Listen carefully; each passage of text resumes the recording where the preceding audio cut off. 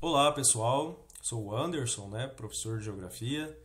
Estou aqui para dar boas-vindas a todos vocês, meus alunos, após esse período aí de 15 dias de recesso, né, um período aí sem a obrigatoriedade da entrega das atividades, né, e das videoaulas. É um período que eu acho que deu para descansar um pouco, né? Foi um período de recesso tanto para vocês alunos como para nós professores, né? Quero dizer que eu sinto muita falta de vocês, principalmente de estar em sala de aula, né? Infelizmente tive aí um curto período de tempo com vocês em sala de aula, apenas é, um mês e quase uma semana, e aí a pandemia já interrompeu aí as aulas presenciais. Enquanto é, a situação né, da, da pandemia aí não melhora, não há o desenvolvimento de vacinas, a gente vai seguindo aqui com o ensino remoto. Essa é a modalidade que foi possível né, diante desse cenário que nós estamos vivenciando. É, quero dizer para vocês que não desanimem, né? Às vezes vem aquele pensamento: ah, o ano já está perdido. Não se deixem levar por esse pensamento, né? Procurem realizar as atividades. Se tiverem dúvida acerca do conteúdo da videoaula ou do conteúdo das atividades, não estiver conseguindo realizar é, a atividade proposta, chama o professor tutor do grupo, manda mensagem, professor, olha, não entendi a questão tal de tal disciplina, o senhor pode me ajudar? O professor ele vai te ajudar. Se ele não conseguir, ele vai entrar em contato com o professor da disciplina. Mas não deixe de perder né, a oportunidade de obter novos conhecimentos, né, de trocar conhecimentos nesse período. Que sem dúvida aí é uma das maiores perdas é, nesse período. A gente é, deixar de aprender coisas novas. Esse período tem sido muito difícil, né? eu entendo, para nós professores também foi. Nem todos os professores dominavam as tecnologias, nem todos os professores tinham gravado videoaulas, nem todos os professores tinham ido a um estúdio de TV para gravar aula. Foi bem difícil para a gente no começo também. Todo mundo foi pego de surpresa. E eu também imagino né, que não esteja sendo fácil né, para vocês. Né?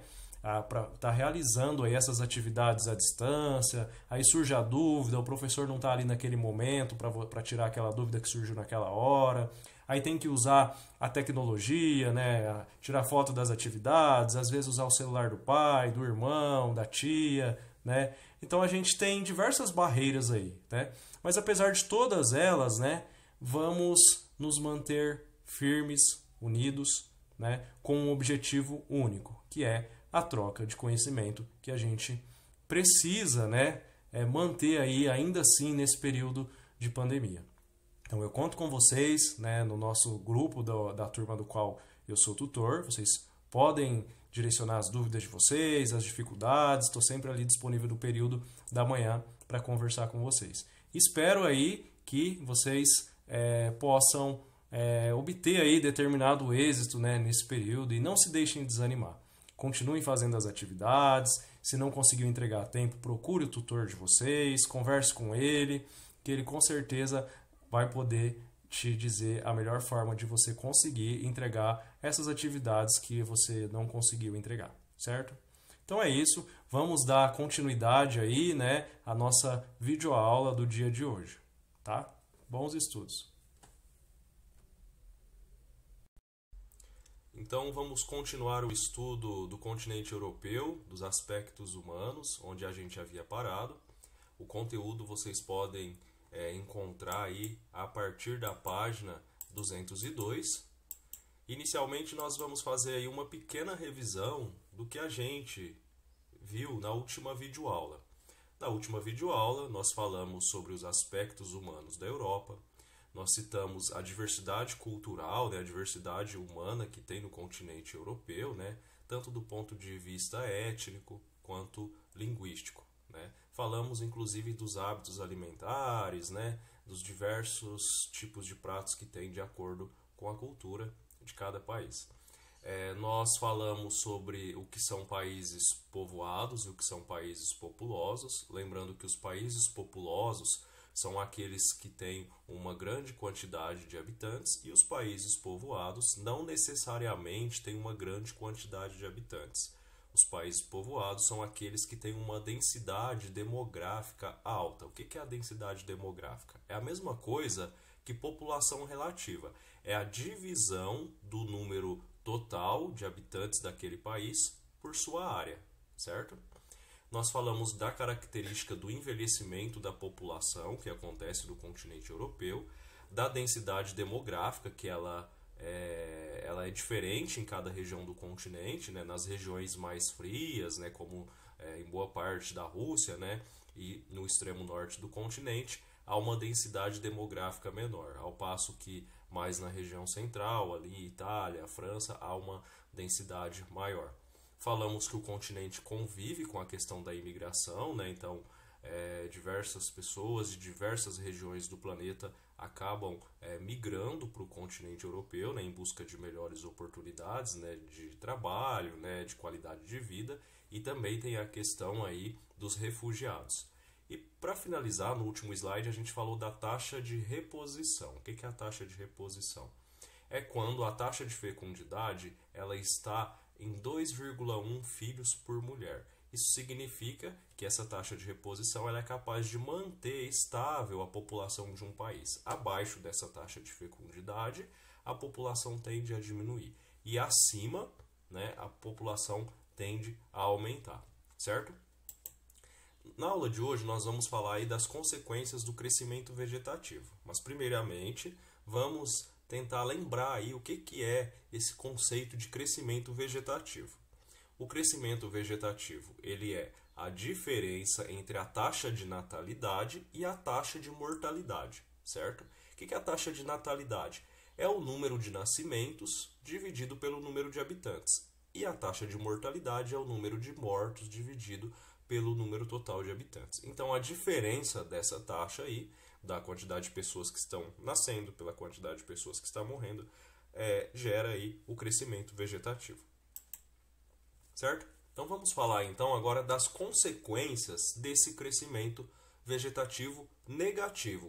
O que, que acontece no crescimento vegetativo negativo?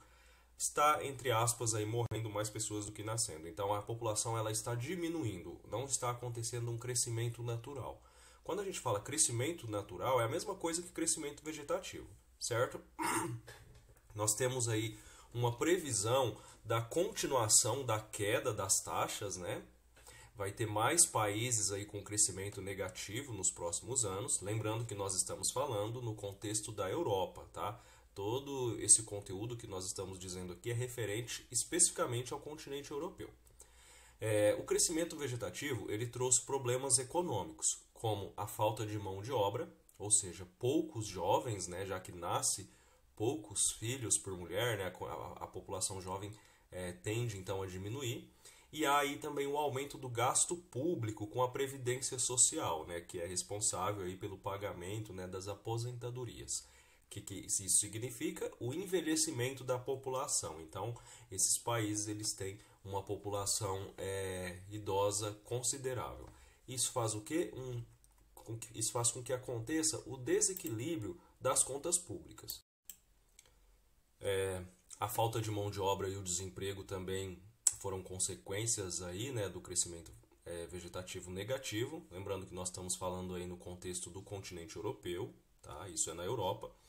É, inicialmente, os países europeus, é, para lidar com a questão da falta de mão de obra, eles promoveram aí a abertura de fronteiras para receber imigrantes.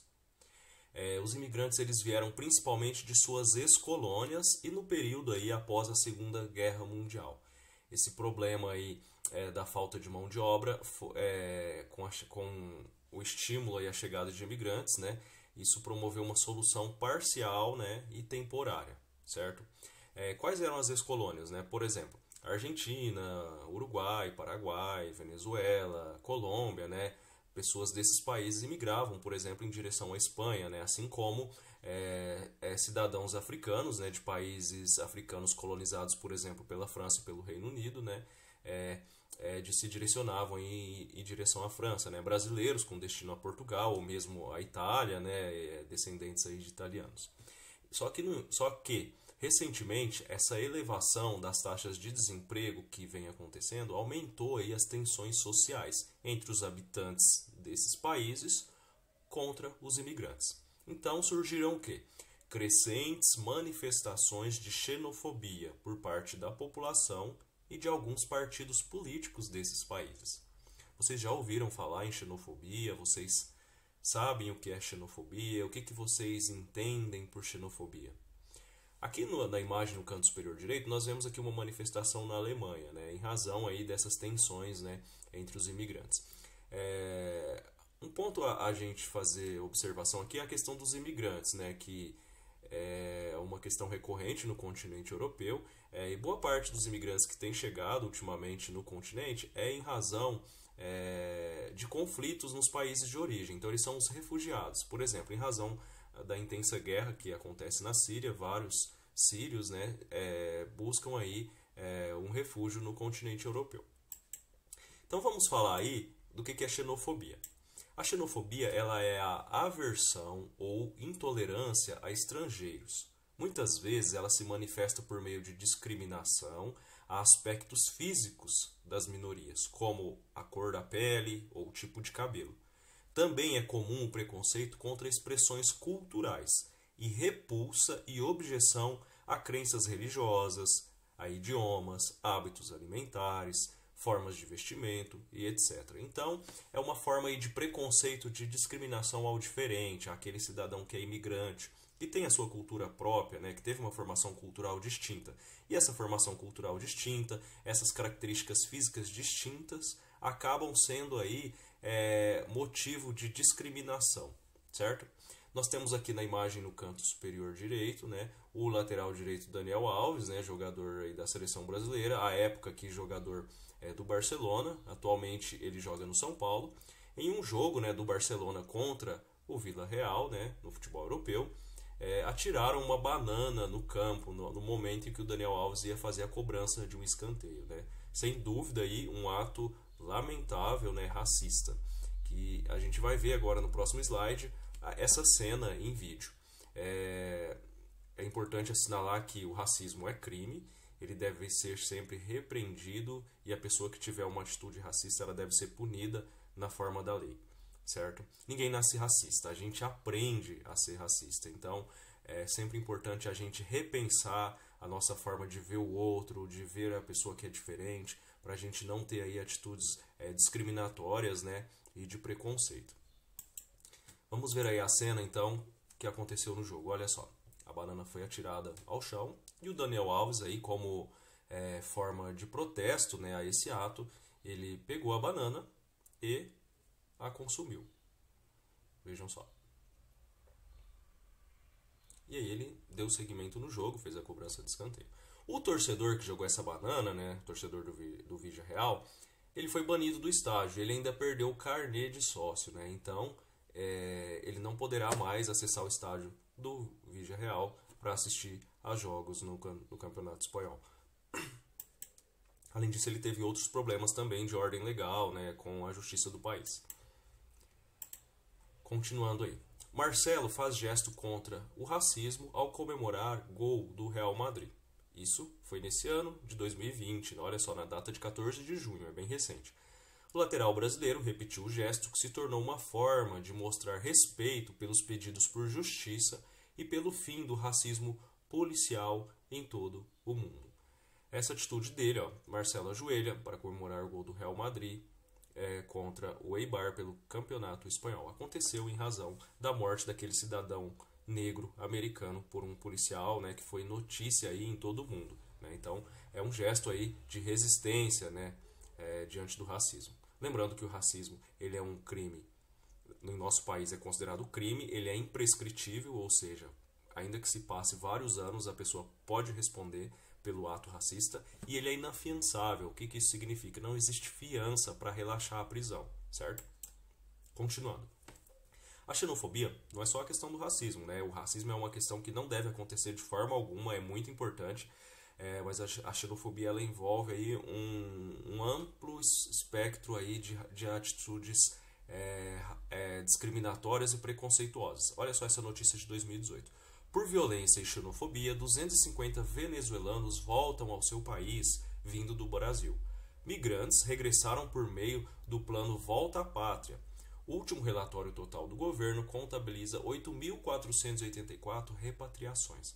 Então, são cidadãos que são venezuelanos que vêm ao nosso país em busca de uma é, melhora de qualidade de vida, né, de, em busca de uma vida melhor, principalmente em razão dos, dos recentes conflitos políticos, né, a crise política que vem, que vem vivenciando aí o nosso país vizinho, a Venezuela. Então eles chegam aqui em busca de uma qualidade de vida melhor, né, de ter aí os seus direitos humanos básicos, né, assegurados. E acabam muitas vezes sendo vítima aí de discriminação, né, de preconceito por parte de nós brasileiros. Lembrando que isso também não deve acontecer.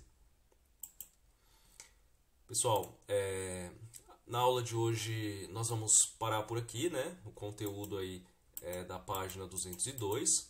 É, na próxima aula nós vamos continuar, eu vou iniciar aí a partir da explicação aí dessa atividade 2, na página 203. Espero que vocês tenham compreendido o conteúdo. Então, para recapitular, hoje nós falamos aí é, das consequências aí é, da imigração né, no continente europeu, né? No início era para ser uma solução aí pela falta de mão de obra e depois em razão aí do crescimento do desemprego no continente começaram a surgir aí essas é, atitudes aí é, de xenofobia. É, falamos aí da, da questão também do envelhecimento populacional e de como que chegou né, esses imigrantes aí é, no continente europeu. Né, inicialmente foi por meio de um estímulo né, dos países. Então é isso, espero que vocês tenham compreendido. Bons estudos e até a próxima aula.